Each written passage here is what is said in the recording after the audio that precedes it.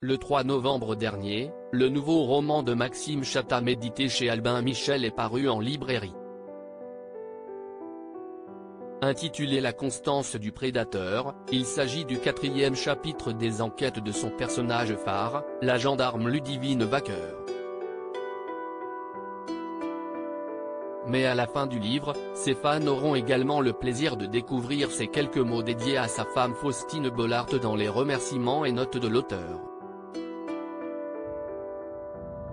Cela fait douze belles années que l'écrivain et l'animatrice filent le parfait amour et dix ans que les tourtereaux se sont unis, au cours d'une cérémonie très particulière.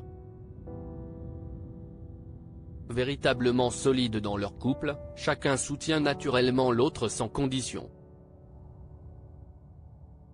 Selon Maxime Chatham, Faustine Bollard suit d'ailleurs avec grand intérêt l'avancée de son écriture.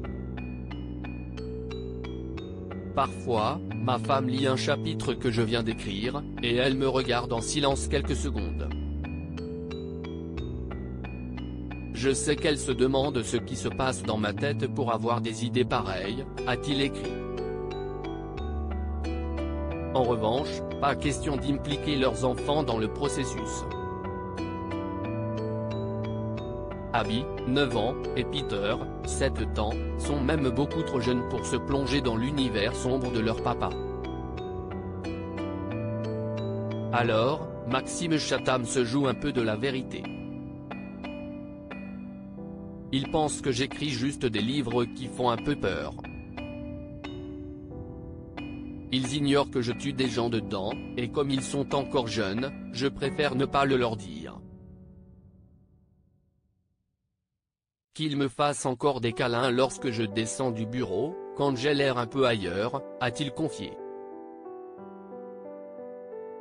Ainsi, il demande à ses admirateurs de devenir ses complices.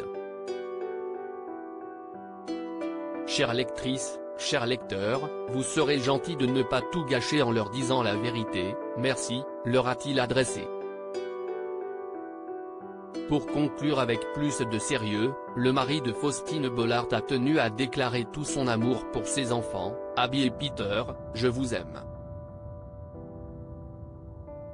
Vous donnez du sens à la vie. Si est une grande responsabilité.